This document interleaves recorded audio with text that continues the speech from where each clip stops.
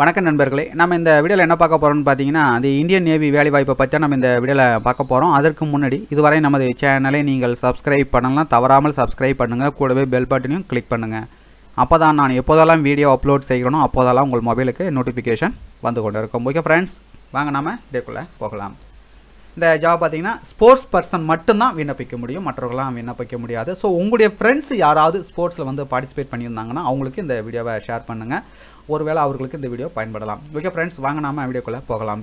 இந்த ஜாபுக்கு பார்த்தீங்கன்னா திருமணம் ஆகாத ஆண்கள் மட்டும்தான் விண்ணப்பிக்க முடியும். ஓகேங்களா அதுக்கு அடுத்தாக ஸ்போர்ட்ஸ் வந்து எதில் பார்ட்டிசிபேட் பண்ணியிருக்கணும் அப்படின்னு பார்த்தீங்கன்னா இன்டர்நேஷ்னல் ஜூனியர் அல்லது senior national championship senior state championship all India inter university championship இதில் வந்து ஏதாவது அவங்க கொடுத்துருக்கிற ஏதாவது ஒரு ஸ்போர்ட்ஸில் வந்து பார்ட்டிசிபேட் பண்ணாங்கன்னா அவங்களுக்கு வந்து இது ஜாப் வந்து எலிஜிபிள் ரைட்டுங்களா அதுக்கடுத்தாக என்னென்ன போஸ்டிங் வந்து கொடுத்துருக்காங்க அப்படின்னு பார்த்தீங்கன்னா டைரக்ட் என்ட்ரி பெட்டி ஆஃபீஸர் இதற்கான குவாலிஃபிகேஷன் பார்த்தீங்கன்னா பன்னிரெண்டாம் வகுப்பு வந்து தேர்ச்சி பெற்றிருக்க வேண்டும். எந்த குரூப் வேணாலும் படித்திருக்கலாம். ரைட்டுங்களா ஆர் ஈக்குவலான எக்ஸாமினேஷன் பன்னெண்டாம் வகுப்புக்கு ஈக்குவலான எக்ஸாமும் பாஸ் பண்ணியிருக்கலாம்.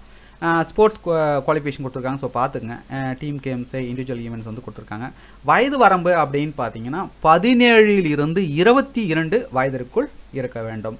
அதாவது பார்த்தீங்கன்னா ஒன்று பிப்ரவரி ஆயிரத்தி தொள்ளாயிரத்தி தொண்ணூற்றி ஏழு முதல் முப்பத்தி ஒன்று ஜனவரி இரண்டாயிரத்தி இரண்டு இந்த இடைப்பட்ட காலத்தில் வந்து பிறந்திருக்க வேண்டும். அப்படின்னா போத் டேட்ஸ் இன்க்ளூஸ் ரைட்டுங்களா அதுக்கடுத்தாக சீனியர் செகண்டரி ரெக்ரூட் எஸ்எஸ்ஆர்னு சொல்லுவாங்க. இதற்கான குவாலிஃபிகேஷன் என்ன அப்படின்னு பார்த்தீங்கன்னா பன்னிரெண்டாம் வகுப்பு வந்து தேர்ச்சி பெற்றிருக்க வேண்டும். இதுவும் பார்த்தீங்கன்னா எந்த குரூப்பில் வேணாலும் படித்திருக்கலாம். ஆர் ஈக்குவலான எக்ஸாமினேஷன் வந்து பாஸ் பண்ணியிருக்கலாம் ரைட்டுங்களா அதுக்கு அடுத்தாக ஸ்போர்ட்ஸ் குவாலிஃபிகேஷன் கொடுத்துருக்காங்க. ஸோ பார்த்துக்குங்க அதற்கு அடுத்ததாக வயது வரம்பு அப்படின்னு பார்த்தீங்கன்னா பதினேழில் இருந்து இருபத்தோரு வயதிற்குள் இருக்க வேண்டும்.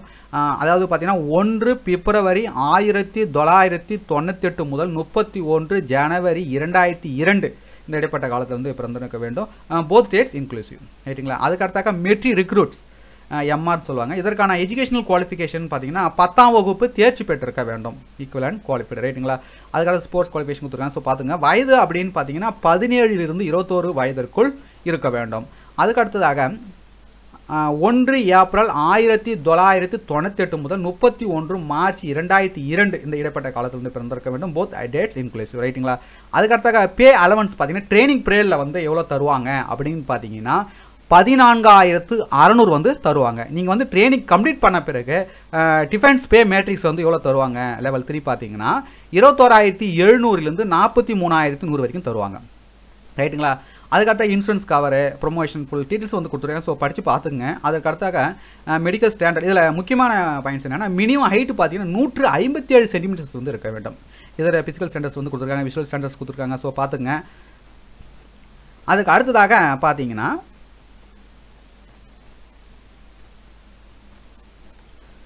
விண்ணப்பிக்கும் முறை பார்த்தீங்கன்னா ஆஃப்லைனில் தான் விண்ணப்பிக்கணும். இல்லை பார்த்தீங்கன்னா ஆர்டினரி போஸ்ட்டில் தான் நீங்கள் அனுப்ப வேண்டியிருக்கும். ஸோ நீங்கள் வந்து ஸ்பீட் போஸ்ட்டோ ரிஜிஸ்டர் போஸ்ட்டோ அல்லது கொரியர் மூலமோ அனுப்பக்கூடாது. அனுப்பிங்கன்னா நீங்கள் அவங்களுடைய உங்களுடைய ரிச உங்களுடைய அப்ளிகேஷன் என்ன பண்ணுவாங்கன்னா ரிஜெக்ட் பண்ணிவிடுவாங்க ஸோ என்ன பண்ணுறீங்கன்னா ஆர்டினரி போஸ்ட்டில் தான் அனுப்பணும். ரைட்டுங்களா இவங்க கொடுத்துருக்கிற ஃபார்ம் வந்து ஃபில் பண்ணி தேவையான ஆவணங்களை இணைத்து நீங்கள் ஆர்டினரி போஸ்ட்டில் தான் அனுப்பணும். மறந்துடாதீங்க.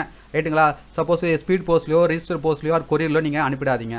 அதுக்கு அடுத்ததாக பார்த்தீங்கன்னா எப்படி செலக்ட் பண்ணுறாங்க அப்படின்றது பார்த்தீங்கன்னா இப்போ என்ன பண்ணுவாங்கன்னா ஹையர் ஸ்போர்ட்ஸ் அச்சீவ்மெண்ட் யார் இருக்காங்களோ அவங்க அடிப்படையில் வந்து செலக்ட் பண்ணுவாங்க. ஸோ இதை எப்படி செலக்ட் பண்ணுறாங்க அப்படின்ற ஃபுல் டீட்டெயில்ஸ் வந்து கொடுத்துருக்காங்க. ஸோ படித்து பார்த்துங்க. அதுக்கு அடுத்ததாக பார்த்தீங்கன்னா இந்த ஃபார்ம் இதை கொடுத்துருக்காங்க பாருங்கள் இதை என்ன பண்ணுறீங்கன்னா ஏ ஃபோர் ஷீட்டில் வந்து பிரிண்ட் எடுத்துக்கோங்க.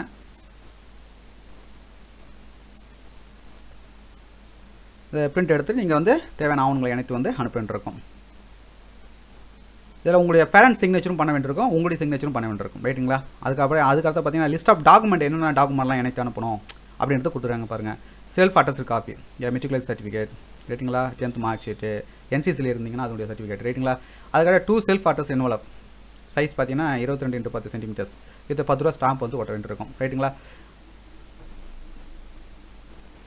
அதுக்கடுத்தா பார்த்தீங்கன்னா என்னைக்குள்ளே விண்ணப்பிக்கணும்? அதே பார்த்தீங்கன்னா last date of receipt of application பார்த்தீங்கன்னா இருபத்தாறு ஜனவரி ரெண்டாயிரத்தி பத்தொம்போது உங்களுக்கு மேலும் உங்களுக்கு கூடுதல் விவரங்கள் வேணும்னா என்ன பண்ணுறீங்கன்னா இந்த நோட்டிஃபிகேஷனுடைய லிங்க் பார்த்தீங்கன்னா இந்த வீடியோ கீழ் கொடுத்துருக்குறேன். டவுன்லோட் பண்ணி ஃபுல்லாக பார்த்துக்குங்க. ஓகே ஃப்ரெண்ட்ஸ் இந்த வீடியோ உங்களுக்கு யூஸ்ஃபுல்லாக இருந்தால் தவறாமல் ஒரு லைக் பண்ணுங்கள் மீண்டும் நாம் அடுத்தது ஒரு வேலையுடன் சந்திப்போம். நன்றி வணக்கம்.